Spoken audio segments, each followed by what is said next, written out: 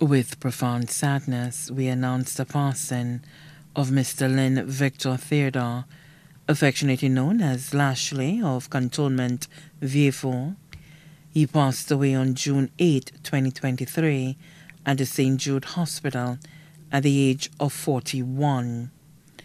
The funeral arrangements for Mr. Lin Victor Theodore, affectionately known as Lashley, will be announced in a subsequent broadcast. The body now lies at Lazarus Funeral Home, New Dock Road, Vieux Fort. May he rest in perfect peace.